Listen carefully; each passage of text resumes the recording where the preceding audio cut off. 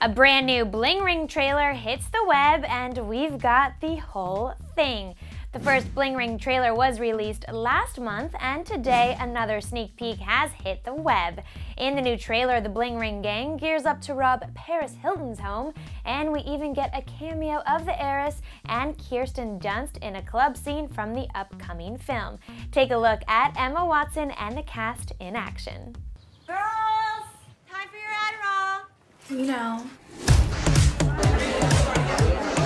My homie Mark. Hey. Hi, I'm Nikki. This is Sam. Hi. Oh my god, that's Paris Hilton. It's Kirsten Dunst. I just think we wanted to be a part of like the lifestyle. The lifestyle that everybody kind of wants. Hey, I can be the answer. I'm ready to dance when the vampire. Paris Hilton's hosting a party in Vegas tonight. Where does she live? Do you think we could find a way in? I, I don't know.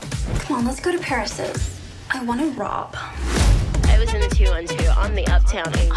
You know what's up or oh don't Oh my god! A rude bitch nigga. That's a cute dress. Did you get a new dress? Mm-hmm. We had so many beautiful things. Oh, we'll break. I bet you do want to. Ladies? He looks hot.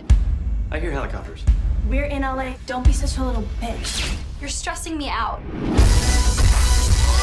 Oh my god. Are they gone? Police are investigating the connection of the Hollywood Hills burglaries. America has this sick fascination with a Bonnie and Clyde kind of thing. It all comes back to like bad choices. Who you have as your friend. Can't take her dog. But he likes me. I'm a firm believer in karma, and I think this situation is a huge learning lesson for me to grow and expand as a spiritual human being. I want to lead a country one day, for all I know. Did you speak to any of the victims? I've spoken to all the victims. Really? What did Lindsay say? Summer just can't come soon enough. If you missed the first trailer for the movie, I've pasted it in the description box for your viewing pleasure. Now, here at Clevver, we are loving this bad girl side of Emma Watson, and our favorite moment has to be at the very end when her character says, quote, I want to lead a country one day for all I know.